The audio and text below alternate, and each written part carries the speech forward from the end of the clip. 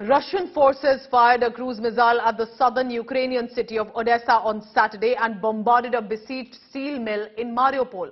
They're hopeful, as it appears, to complete this conquest of the port city in time for the Victory Day celebrations. Ukraine, meanwhile, has announced that women, children and elderly have been evacuated from the mill area, but it is a key Russian war objective. Here's a report of why Mariupol is suddenly back in the news. Russia-Ukraine war has been going on for over two and a half months now. Putin's army fired a cruise missile at the southern Ukrainian city of Odessa on Saturday and bombarded the besieged steel mill in Mariupol. Hopeful to complete their conquest of the port city in time for Russian Victory Day celebrations on Monday. Amid raining missiles, shells and bombardments in Ukraine, Russia is marking 77 years of victory over Nazi Germany.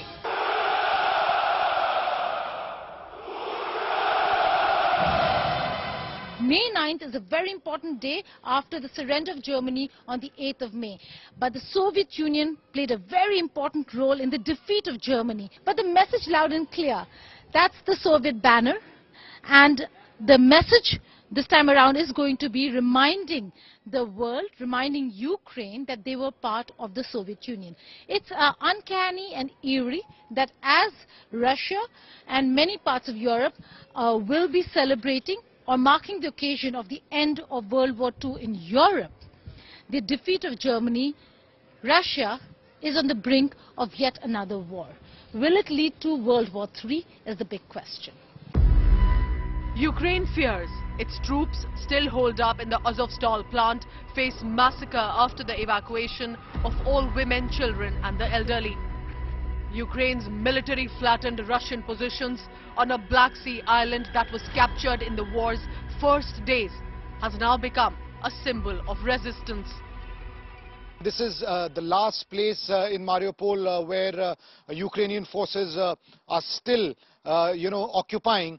so it seems that in days to come there will be an offensive launched by the Russian side on the Azovstal steel plant to flush out Ukrainian soldiers who are there. Ukrainian counter-offensive is advancing around the second largest city Kharkiv, a key target of the Russian shelling. Will the fall of Mariupol, timed with the day of biggest celebrations of Russian war capabilities, mark a decisive phase of the Ukrainian war? With Geeta Mohan in Moscow and Abhishek Bhalla in Kiev, Bureau Report, India Today.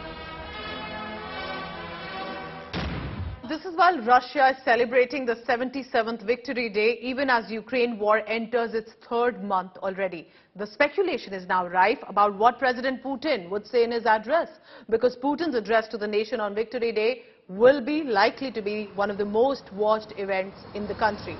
So the Victory Day parade, giving you a background, is one of the most significant events in Russia. It is held on 9th of May and marks the end of World War II in Europe with the defeat and surrender of Nazi Germany on 8th of May 1945. Moscow and many parts of Russia and Russian captured territories, including Mariupol, are likely to witness celebrations of the Victory Day or what is locally called the Patriotic War. President Vladimir Putin is then expected to use this occasion as a means to promote patriotic unity and showcase country's military might. Among the pro-war editions this year, a group of fighter jets is expected to fly over Moscow. There could be a shape of Z in support of Russian troops. All of this, remember, 129 military vehicles. 10,000 personnel this year could be deployed for a show of strength. 11,000 people, 131 units of industrial and special equipment, 77 aircrafts could take part in this parade. Every year on May 8th, Together with the entire civilized world, we honor everyone who defended the planet from Nazism during World War II. Millions of lost lives, crippled destinies, tortured souls, and millions of reasons to say to evil, never again. We knew the price our ancestors paid for this wisdom.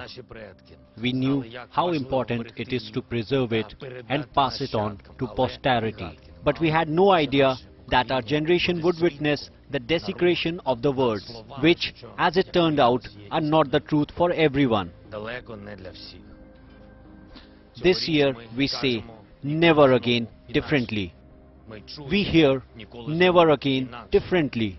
It sounds painful, cruel, without an exclamation, but with a question mark. You say, never again. Tell Ukraine about it. On Feb 24th, the world never was erased.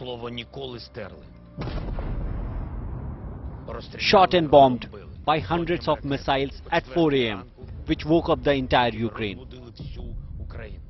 May 9th, one of the most significant holidays here in Russia and you see throngs of people from across Russia who've come down to Moscow. It's holiday season but for more important for them is to witness the Victory Day parade or what they call the patriotic war when Soviet Union won and defeated Nazi Germany. If you see the streets, all the streets over here are now lined up with not just the Russian flags, the Soviet victory flag. This is the Tverskaya street, which is going to witness the parade. Uh, this is where the parade uh, will uh, begin from. It will move, the movement of the columns will take place from here up to the Red Square, where the parade officially is going to take place in front of the huge uh, delegation leadership, including President uh, Putin on the streets here in the streets of Moscow you can see people with uh, newspapers of the time when when Soviet Union declared victory over Germany and the uh, and the victory of World War II in Europe. That happened on the uh, on the 9th of May after Germany surrendered on the 8th of May. St George's ribbon as also newspaper that is now being distributed. People over here collecting, reading the material.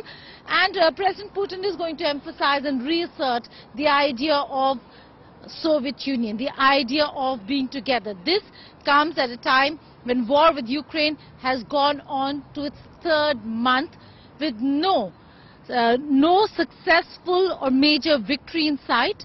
We do know that Mariupol certainly has been taken, but what will President Putin be saying is certainly something that not only Russia but the world will be watching. With journalist Satya Rautre in Moscow, Geeta Mohan for India Today.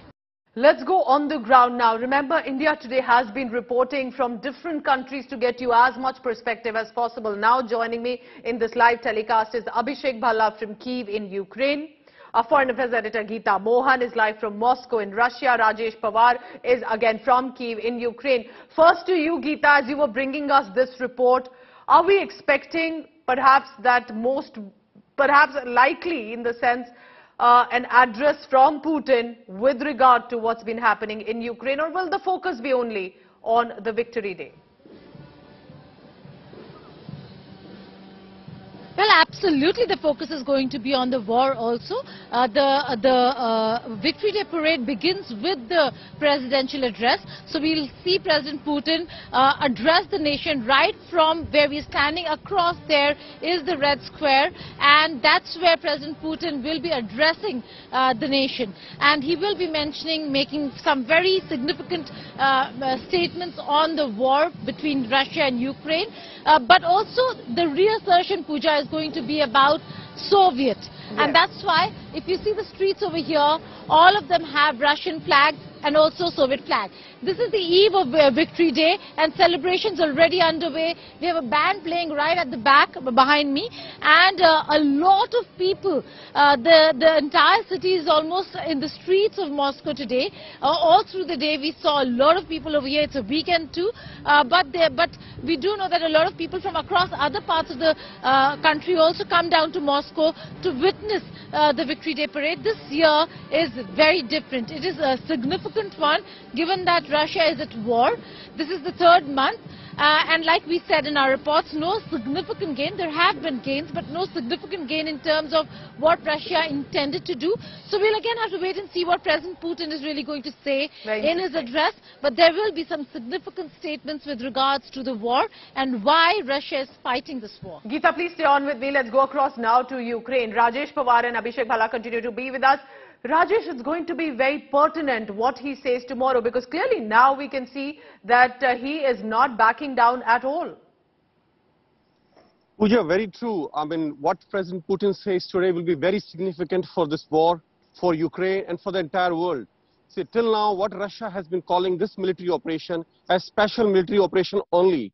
And there are reports that he might declare a complete, a proper war against Ukraine.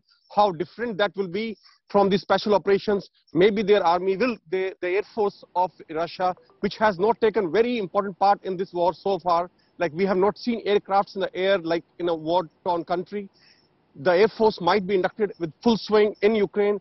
And as Russia has said, that they will target any kind of convoys coming with military supplies from NATO and America. They will target them.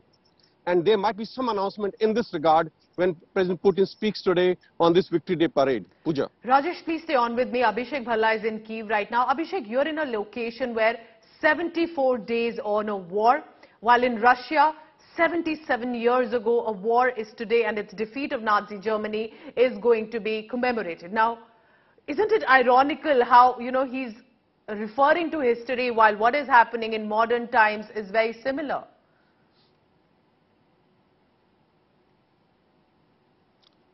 Well, uh, extremely ironic and, uh, you know, uh, 77 years back, uh, people from Ukraine and Russia uh, fought this uh, war together to defeat Nazi Germany. Today, Putin calls Ukrainians a neo-Nazi state. And amid all this, you know, the Azov regiment has done a press conference. And that's where, you know, the real fierce battle is on in Mariupol.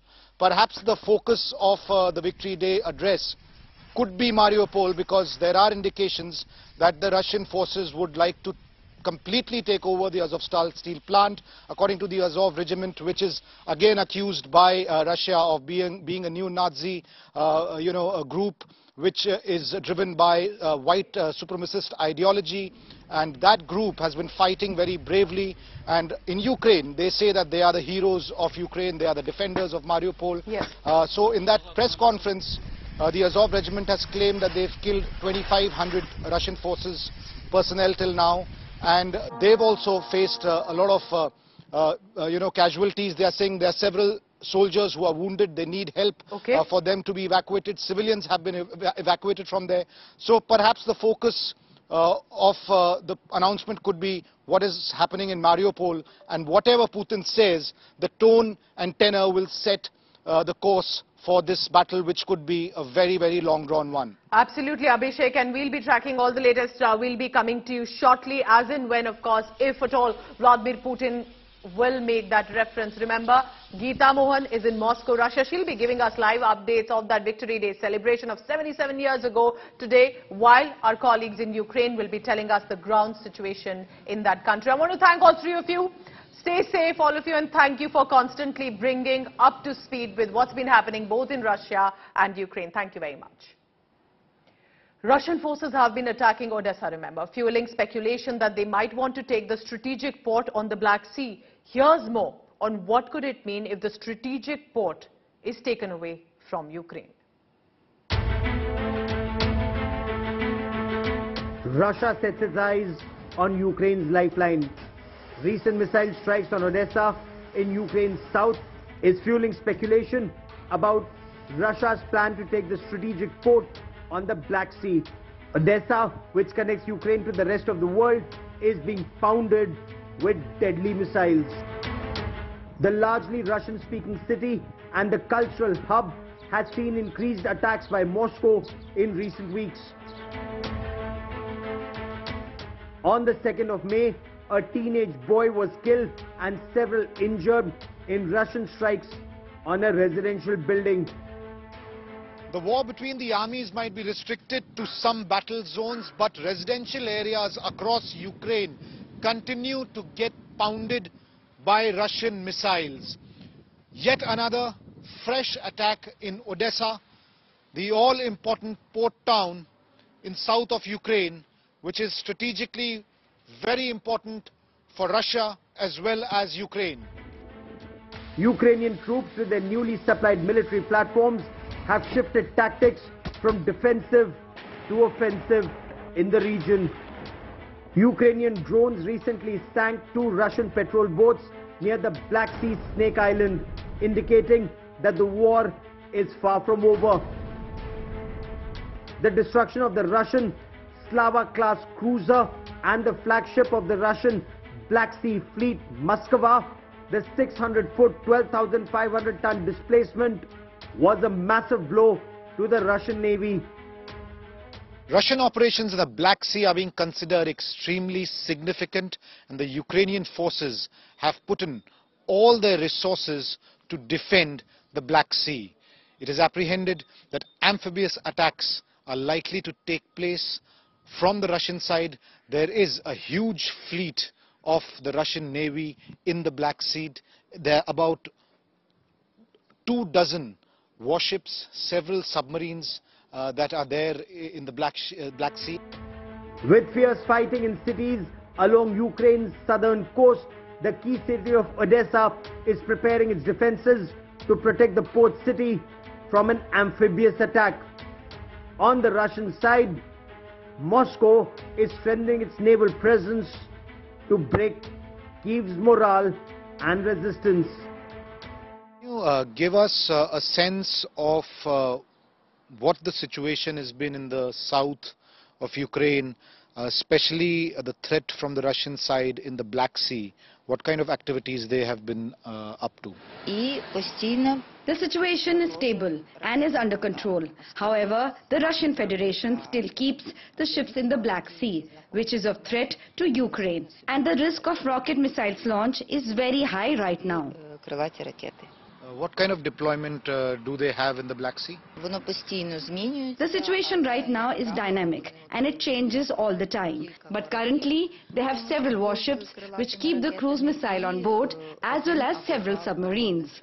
Russians and Ukrainians fought together in the Second World War against the Nazi Germany.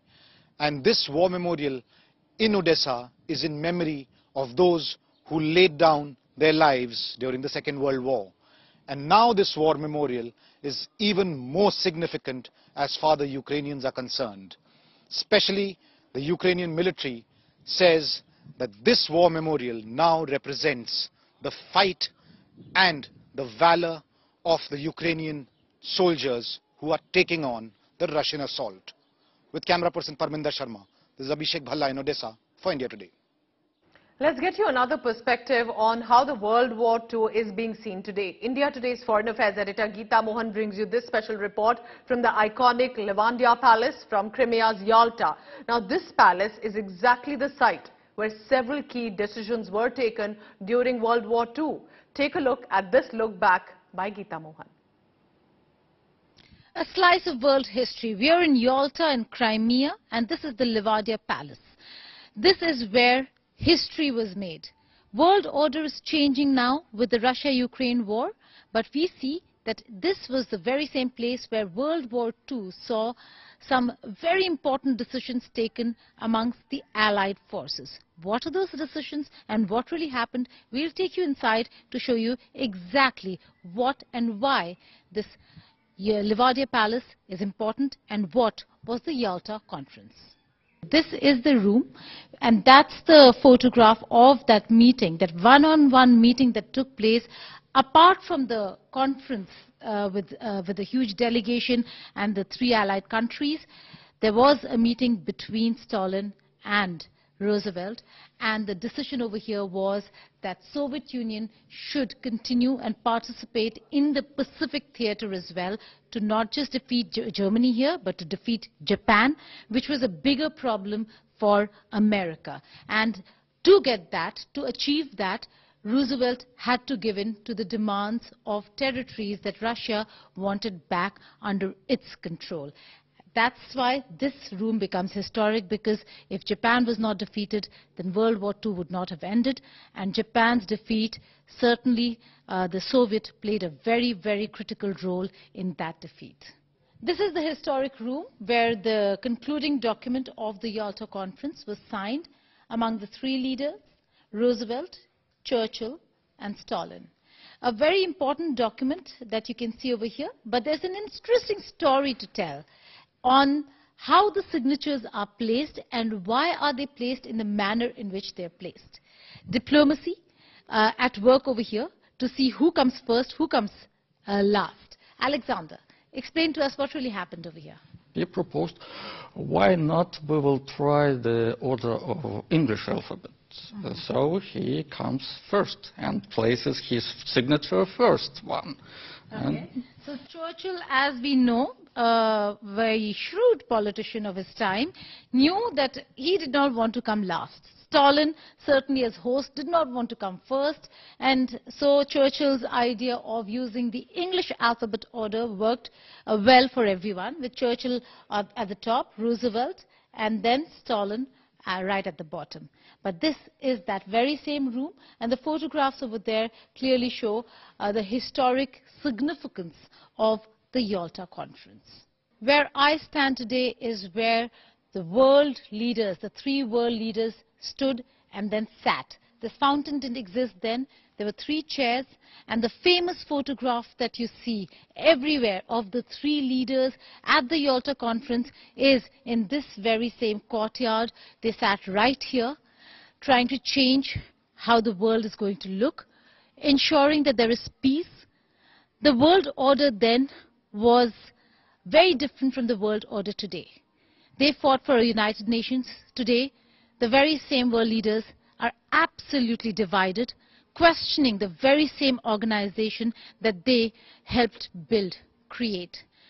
There are many countries who are now questioning the legitimacy, the strength, the power of the United Nations, many questioning the principles of various countries. While Yalta Conference was one of the crucial conferences to end World War II, we are on the brink of yet another war. Can the world come together to bring about peace, is the question. With journalist Satya in Yalta, Geeta Mohan for India Today.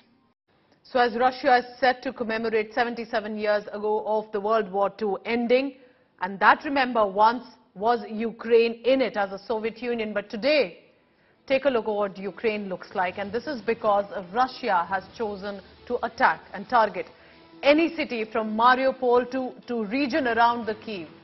From Zaporozhye to other areas as well, one by one, including Kharkiv, are facing bombardment 74, year, 74 days on.